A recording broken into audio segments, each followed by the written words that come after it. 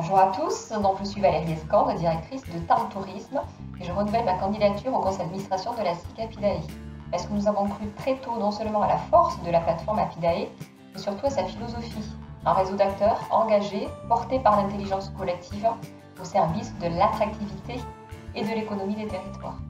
Donc les principales raisons qui motivent aujourd'hui le renouvellement de ma candidature sont tout d'abord de continuer à favoriser l'entrée de nouveaux acteurs à la SIC Apidae, comme j'ai pu le faire avec le département du Tarn-et-Garonne et l'ensemble de ses offices de tourisme, et de contribuer à faire grandir un écosystème riche et varié, mais également de contribuer aux besoins évidents de financement de la nouvelle société.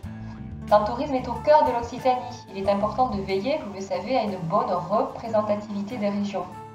Représenter la diversité et la richesse de nos territoires qui constituent, qui a toujours constitué l'ADN d'Apidae, venir élargir, équilibrer la représentation nationale que doit prendre demain le réseau Apidae. Enfin, je souhaite apporter ma humble contribution pour relever le défi avec le collectif de l'innovation.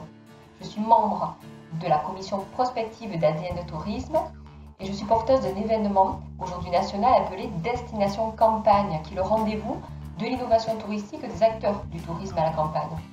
Apidae a toute sa place et doit rester à la pointe de l'innovation pour continuer d'une part à accompagner les acteurs locaux dans l'évolution de leur mission et surtout rester performants dans les services et les solutions proposées aux prestataires de services.